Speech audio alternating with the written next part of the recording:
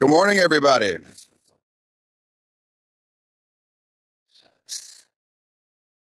So, we have been talking about judges in this series. I've been covering Gideon.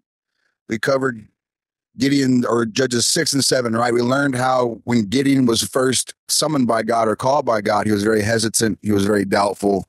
Then we move into how Gideon was actually successful in battle, which was chapters or chapter 7.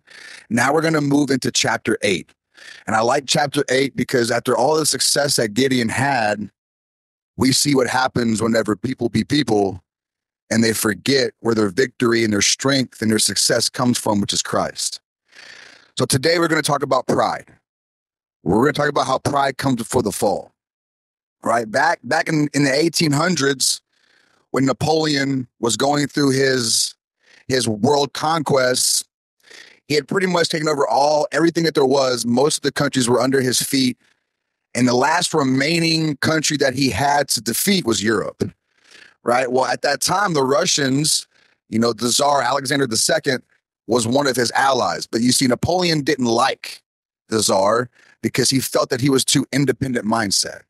Right. So what Napoleon's plan to defeat Europe was to boycott all their supply lines so that they, they to pretty much starve them out. The czar wasn't the, the Tsar didn't like that plan and didn't agree. So Napoleon decided, well, I'll tell you what, well, now you're one of my enemies too. And so Napoleon decided to go against the Russians and, and suffocate and defeat them too. At this time, Napoleon had one of the greatest armies in the world. He had over 650,000 men in his army. They called it the Great Army. It took them five days just to pass by one spot when they were moving towards Russia. Well, here's what happened Napoleon was so prideful in his army and so confident that they would win, he didn't supply his army at all with winter gear. And they're fighting in Russia, right? Russia. Well, he was so prideful that he thought that the battle would be lo- would be won before the snow even fell. Well, guess what happened? In the beginning of the battle, a giant winter storm hit and took out the majority of his army. He had to tuck tail, run back to Paris because there was a coup that was happening because of people were so sick and tired of Napoleon's pride. And that led to what we now know as pretty much his downfall. After that, there was no more victories. He ends up going to a different island, being cast cast away because of his pride. And so when we look at chapter eight, pretty much the same thing happens to Gideon, but not just to Gideon, but to the Israelites too. So there's a couple things that we can learn from chapter eight. So I want y'all to write these things down. I have seven. I highly doubt we'll, we'll be able to get to all seven. So I'm just going to cover the main ones. But thus far in the study of Gideon's life, we've seen his responses to the Lord's call to defeat the enemy. At first, Gideon was full of questions and doubt, but then he grew in his faith, believed God's promises, and led his army to victory. In Judges 8, the account focuses on Gideon's responses to various people after he'd won the battle, and it tells us how he handled some difficult situations. After being routed by Gideon's 300 men in Judges 7, the kings of Midian fled south. Gideon's men pursued them all the way to the other side of the Jordan River. So, as we learned during chapter 7, they win. They, they defeat the Midianites. They beheaded some of, or they killed some of the leaders, some of the military leaders. They actually killed them at the same place that Gideon was hiding the wine press, right? Well, now the kings have fled. Battle's lost, kings have fled. Gideon and his men are now going after the king because they know to have full victory in this battle, they got to get the kings. So that's what we pick up in Judges 8, 1 through 3. So this is the first thing that we can learn from this story. Write this down. Pride can lead to jealousy. So Judges 8, 1 through 3. Then the men of Ephraim said to him, What is this thing you have done to us, not calling us when you went to fight against Midian? And they contended with him vigorously. But he said to them, What, what have I done now in comparison with you? Is not the gleaning of the grapes of Ephraim better than the vintage of, of Abiezer? God has given the leaders of Midian, Oreb, and Zeb into your hands. And what was I able to do in comparison with you? Then their anger toward him subsided when he said that. Let's break this down. What's happening right now? Well, here's what's happening. The men of Ephraim joined in the fight against Midian when Gideon called out to them. That's Judges 7 24 through 25. But here's the deal They joined the fight. Gideon didn't ask them to join the fight. They joined on their own. The Ephraims were upset that Gideon did not call them before the battle started. Gideon's initial call for help went up to the tribes of, of Manasseh, which was Gideon's own tribe, Asher, Zebulun, and Naphtali. That's in Judges 6. Right. So what's happening is that is the men of Ephraim are looking at, at Gideon and, and they're upset because Gideon never called them to battle. They went on their own. And so they're looking at Gideon asking him, Why didn't you call us to battle? Here's where the pride comes from. So we're going to back up to Genesis for a little bit. Just before his death, Jacob issued a blessing that switched the birth order of Joseph's children. Now remember that, right? Thus he put Ephraim before Man- Manasseh. That's that's Genesis 48, 13. It's also in 17 through 20, 41 through 50, 51, and Numbers. This, however, created jealousy amongst the tribes of Manasseh and pride in the tribe of Ephraim. Joshua, which we all know who Joshua is, right? He's a hero to the, uh, he was a hero of the faith and success with Moses. Well, guess what? Guess where Joshua comes from? Guess what tribe Joshua's from? He's from the Ephraim tribe.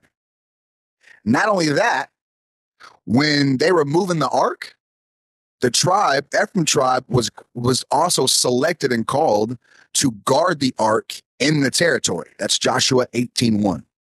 Right? So all these facts lead to this pride the tribe of Ephraim is having. So they're looking at and and and also this so b- before this, David issues, I think it's in Second Samuel, David issues a decree where whenever uh, you have military victory, you share in the spoils.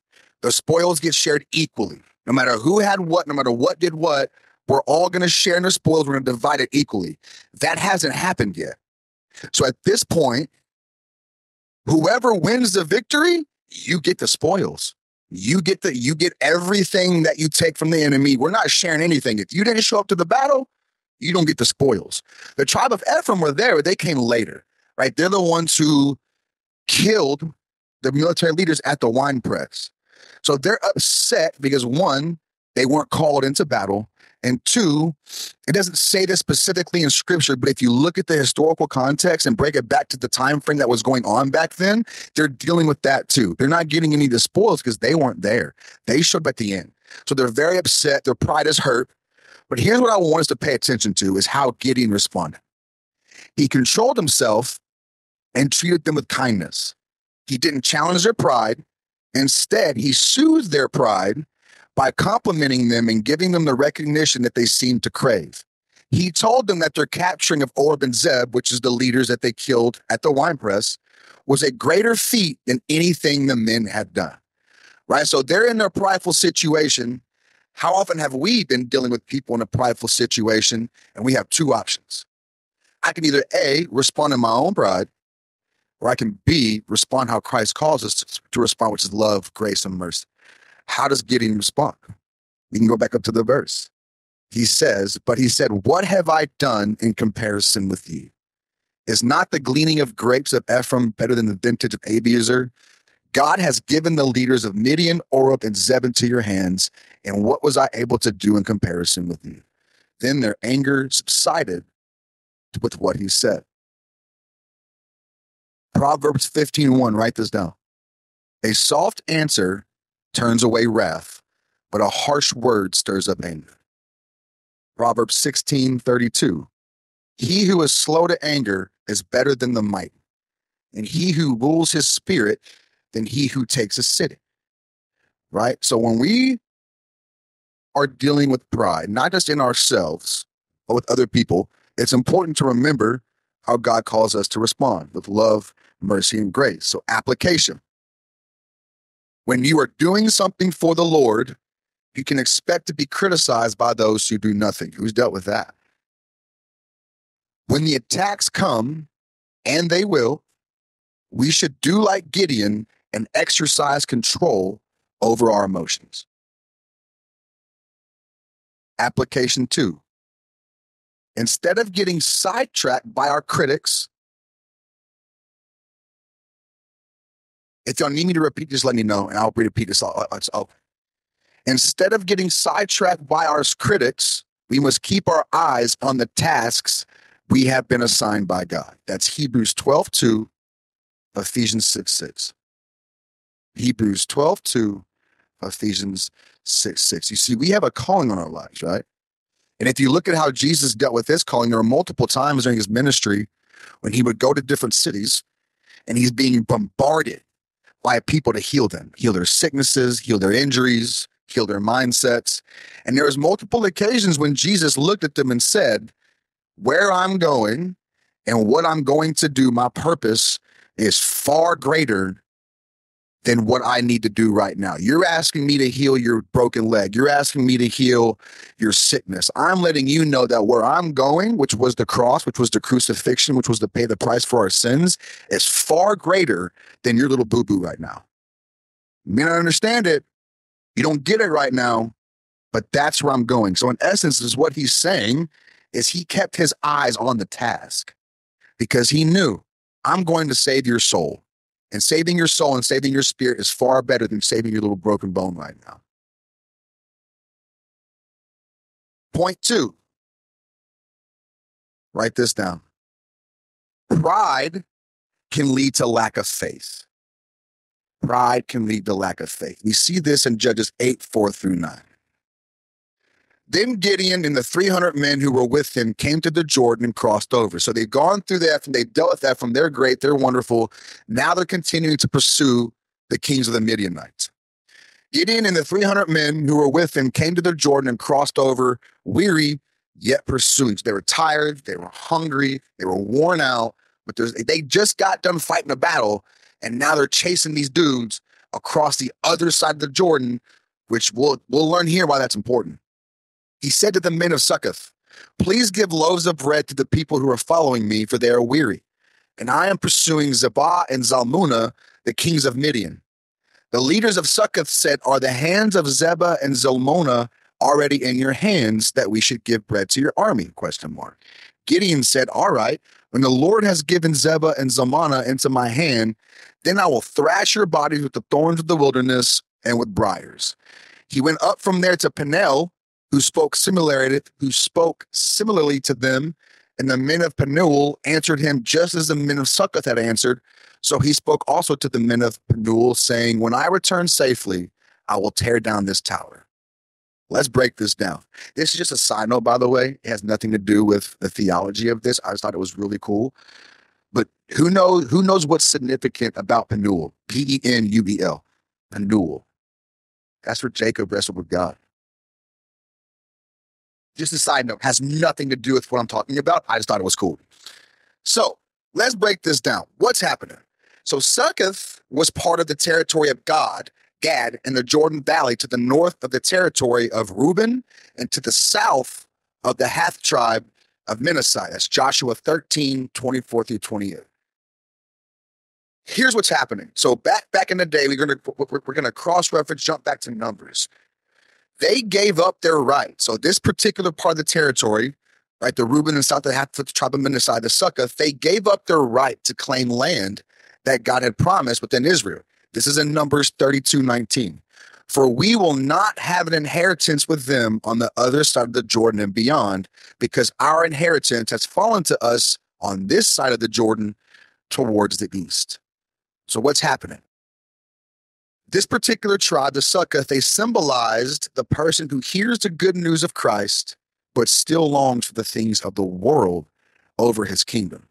They were prideful in themselves and didn't feel as close to the other tribes as they should have. While others were risking their lives, the people of Gad were doing nothing.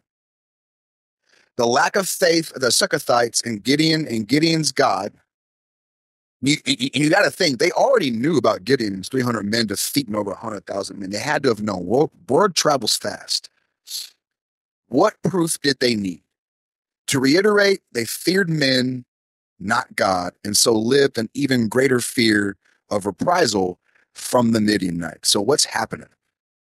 They're looking at Gideon and his God, and they already gave up their right to the lands. They don't. They don't want no part of what God's calling them to do. They think we're we're good here. We don't want any part of what they're doing over there. We're good here. We like it here. We like what the what, what, the land's producing. We, we we like what's happening on this side of the Jordan. We're good, Jesus. We're good, God. We don't want our inheritance. Give it to them. We want no part of them. We're prideful in ourselves.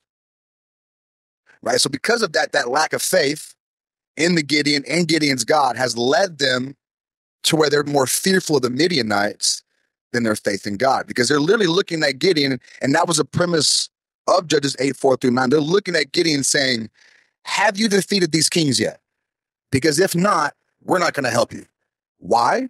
Because they were afraid of the reprisal that would happen if they did feed Gideon's men and they didn't win. So let's say the Gideon and his men didn't find the kings, the kings end up winning. Then what happens? They're afraid of the reprisal. And actually, again, we go back to the historical context. You look at what's going on back in this time. A lot of scholars, some many scholars believe that the Succothites were even in cahoots with the Midianites. They believe that one of the reasons that they didn't give them bread wasn't just because they were fearful, but because they were working with the Midianites. And now they know if we give Gideon's men bread, they're really going to come down on us. So write this down Proverbs 29 25. The fear of man brings a snare, but he who trusts in the Lord will be exalted. Right? So, all that said, how can we apply this to our lives? Point one do not let fear of the world distract you from your faith in God. That's Ephesians 6 10 through 11. Ephesians 6 10 through 11. Point two don't let pride keep you from walking in God's will for your life. Remember that the success that we have in our lives, anything that we do good, has nothing to do with us. When we look at the book of James, and Jesus is given the parable of the vine, he says, I'm the vine, you are the branches. Apart from me, you can do nothing. Nothing. Not apart from me, you can do some things. Apart from me, you might have troubles and struggles. Jesus says, apart from me, you can do nothing. Do not let your pride steal from you what God has for you. Please do not misinterpret me. I'm not saying that we follow Christ for blessings. That's truth. That's truth that's written in the Bible, but that's not why we follow Christ. We follow Christ simply because we love him so much that we want a relationship. From that relationship comes the successes according to his plan, not ours. A lot of Christians like to quote that verse, for all things come with the good, right? God, God takes everything that's in the world and, and, and, and brings it to good, but they tend to want to leave out the rest of it. Anybody know what the rest of that verse says? For those who love him according to his plan. So God's going to take what's good and what we find good might not be what God finds good. And what we find bad God might see as good. Do not let your pride distract you or steal from you the calling and walk that God has for you. We got to move forward. Point three, we are definitely not getting into all seven. Pride can lead to a lack of forgiveness and vengefulness. You see this in Judges 8 13 through 21. Pride can lead to a lack of forgiveness and vengefulness. After defeating the remaining Midianites, Gideon then retaliated against the Jewish citizens of Succoth by destroying it and killing every man in the city. You see that right here. Then Gideon came and said to the men of Succoth, Here is Zebah and Zalmunna, about whom you taunted me by saying, Do you already have the hands of Zebah and Zalmunna in your possession? Why should we give you bread to your exhausted men? He took the elders of the town and taught the men of Succoth the lesson by punishing them with desert thorns and briars. He also pulled down the tower of Peniel and killed the men of the town. So here's what's happening. Gideon felt that he had the right to retaliate against the people of Succoth. He first publicly flogged the leaders with whips made of thorns and briars. Then, unsatisfied with this torture, he killed both the leaders and every man in the city. His murderous rage was not of God. His actions were influenced by the devil to discredit God. Where is that point made? That's not just me talking, that's scripture. Vengeance belongs to God alone. That's in Deuteronomy 32 35. That's in Psalms 94 1 through 2. Also in chapter 16 and 23. That's Romans 12 17 and 19. And Hebrews 10 30. And I can keep going. Vengeance belongs to the Lord, not us. And here's why, because we're going to get into it here in a second. Because Gideon also does the same thing to somebody else, but it's justified. And we're going to see why. The murder of innocent people is one of the six things that God hates. And the Bible uses that word, hate. I don't have time to go into the historical context or the Greek or the Hebrew translations. I highly suggest that you look it up yourself. Go into a software called logos.com. You can look up the the translation of it because it gets so much deeper than what we believe the English translates hate. But here's the verse. There are six things which the Lord hates. Seven, which are an abomination to him. Haughty eyes, a lying tongue, the hands that sheds innocent blood, not hands that sheds blood, hands that sheds innocent blood, a heart that devises wicked plans, feet that runs rapidly to evil, a false witness who utters lies, and one who spreads strife among brothers. That's Proverbs 6, 16, 19 through 19. Side note, what does it mean when it says one who spreads strife amongst brothers? Again, this is something that God hates. You know what that means in, in our contemporary world terms? Gossip. God hates gossip. And I guarantee you, every single one of us in this room, to include myself, is guilty of gossip. So next time you find yourself wanting to gossip and want to talk about people behind their back, remember, God hates that. Let's move on because we are running out of time. So here's my point. Why didn't Gideon show the people of Succoth and Peniel the same kindness that he showed to the Ephraimites and simply forgive them for their offenses? I'll tell you. Ephraim was protecting their tribal pride. A sin, right? Pride's a sin, but not a costly one. Succoth and Peniel were rebelling against God's chosen leader and assisting the enemy at the same time.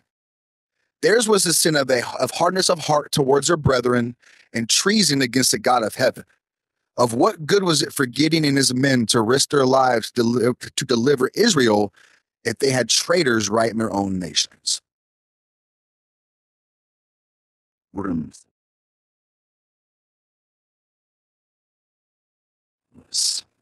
So, here's why I say it's different. Because to just skip forward and move forward for time's sake, but they end up finding the leaders. They find the leader, or the find they, they they they they find the kings. And here's how Gideon deals with them. Then he asks Zebah and Zalmunna, "What kind of men? What kind of men did you kill at Tabor?" Men like you, they answered, each one with the bearing of a prince. Gideon replied, Those were my brothers, the sons of my own mother. As surely as the Lord lives, if you had spared their lives, I would not kill you. Turning to Jether, his oldest son, he said, Kill them. But Jether did not draw his sword because he was only a boy and was afraid. Zebah and Zalmunna said, Come do it yourself. As is the man, so is his strength. So Gideon stepped forward and killed them and took the ornaments off their camels' necks. Why is Gideon's response to the Zebah and Zalmunna different than his response to the Succothites and Penielites? Right? Because with the Succothites and Penielites, that was wrath, that was anger, that was vengeance. Right? He killed innocent people. He had no right to do that. God did not tell him to do that. He did it because he was mad and angry that they didn't feed his men. A lot of pride involved in that too. A lot of pride involved in that. You did not help me and my men, so now I'm gonna kill you all. God did not tell him to do that. But why is him beheading the kings different? He said, he, and he says why he does it. You killed my brother. You killed my brothers, now I'm gonna kill you. You go back to the Old Testament for that. And again, this is Numbers 35, 9 through 34. If you don't believe me, write it down. Numbers 35, 9 through 34. According to the Mosaic law, the family was to avenge crimes like this by killing those responsible for the murder. There was no police system in the land, and each family was expected to track down and punish those who had murdered their relatives, provided the culprit was guilty. In the case of Zebah and Zalmunna, the culprits were not only murderers, but also enemies of Israel. Right? So when we look at the Succothites and the Penielites, they were innocent. They did not kill Gideon's family. They were only guilty of one thing, not feeding them out of fear and pride. Zebah and Zalmunna, they murdered Gideon's brothers. So according to the Old Testament, according to the Mosaic law, Gideon had the right to go and kill them and it was justified because now, like it says, again, the Lord hates spilling of innocent blood. According to the Mosaic law, Zebah and Zalmunna were not innocent. They were guilty of murder and they were enemies of Israel. So that's why it's different. I just thought that was really cool. But here's where Gideon went wrong. By taking the pagan crescent, crescent ornaments off the enemy leaders' camels, Gideon was also claiming title to the royal power. Through all of these things, he became no better than the people he sought to be. Daniel Block, who he, he is the author, if you really want to get into exegesis and really breaking down scripture, I highly suggest looking up exegetical commentaries, right? Because they break it all down. There's one guy that I really like. His name is Daniel Block.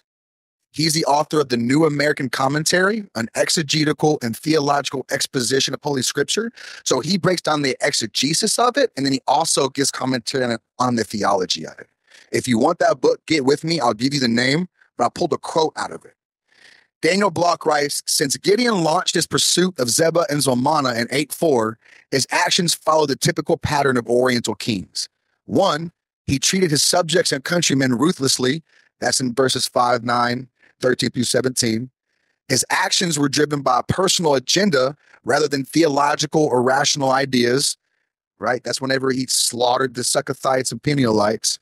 And three, he reacted to the death of his brothers as if they were royal assassinations requiring blood vengeance. And then he made ridiculous demands on his people. He looked at his son, who was a boy at the time, wasn't even a teenager, and said, Kill these men. But do you know why? Side note, do you know why Zebah and Zemaniah taunted Gideon to kill them uh, to kill them themselves? Because back in those days, how you died mattered. They knew they were defeated, but they still wanted their legacy to live on. If they were killed by a small boy, their legacy would be tarnished. They'd go on for the rest of their history, for the rest of time, as the kings who were slaughtered by a bull. So they taunted Gideon to get him to do it themselves, and Gideon did. Gideon, side note. He claimed for himself the symbols of royalty taken from the enemy. So, how do we apply this? One, let your actions be a light to all, even your enemies.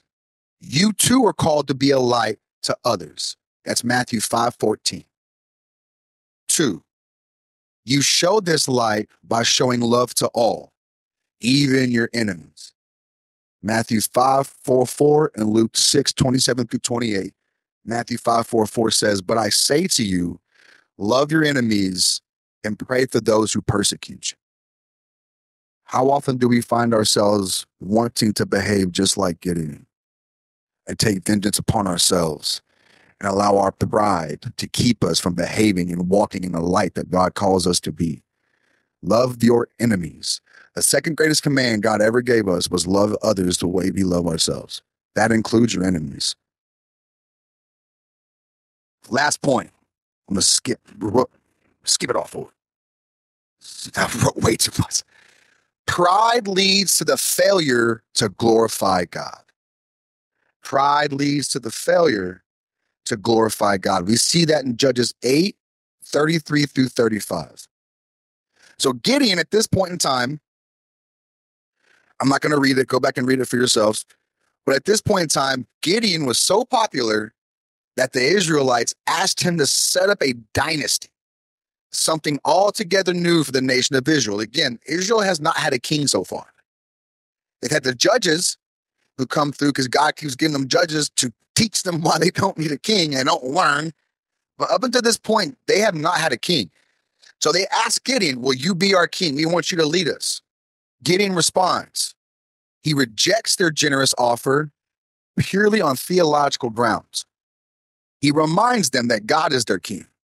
He would not take the place of Jehovah Every Jew should have known that the mercy seat in the tabernacle was the throne of God, from which he ruled in the midst of people. And again, this was prophesied.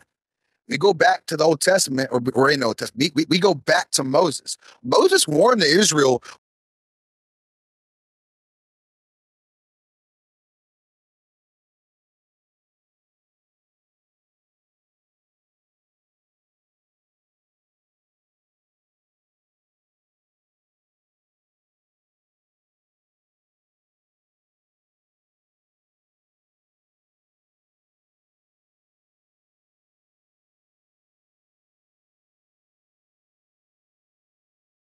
that here in a second because that's scripture. So he rejects the throne. However, pride comes before the fall. He lives just like a king. In 29 through 32, it describes the lifestyle of a monarch, not that of a judge or a retired army officer. He was Gideon was wealthy, one from the spoils of battle, and two from the gifts of the people. He had many wives and at least one concubine. We all know what a concubine is. The Midianites wore gold crescents either on the ear or the nose. That's in Genesis. And the Israelite soldiers would have quickly taken these valuable items as they gathered the spoils. Gideon ended up with over 40 pounds of gold, plus the wealth he took from Zebah and Zalmunna. Right. And so, even here, go back and read the scripture. Gideon even asked the Israelites, he says, Well, I'm not going to take the throne, but if you want to give me some gold, I'll take it. So they did. They gave him all kinds of gold, up to the point had 40 pounds of it. Well, what does Gideon do with this 40 pounds of gold? He makes an ephod.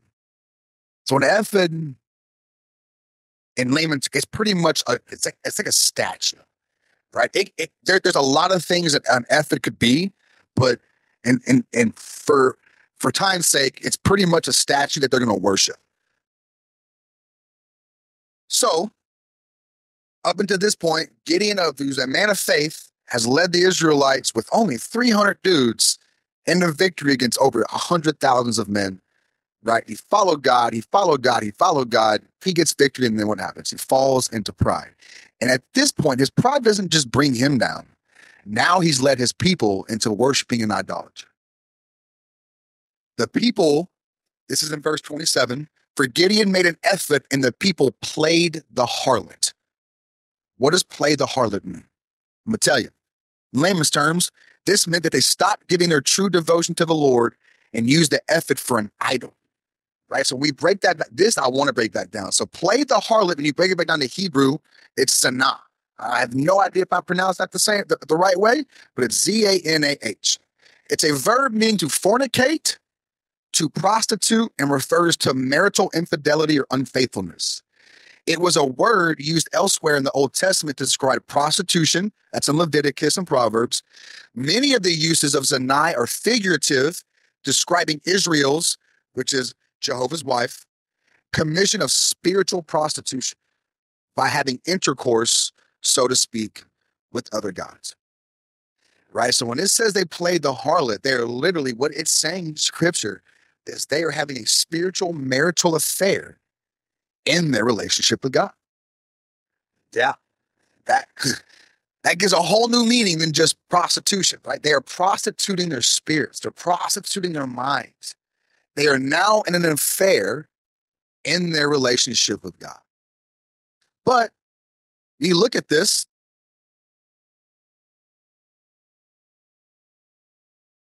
this was a familiar pattern in Israel.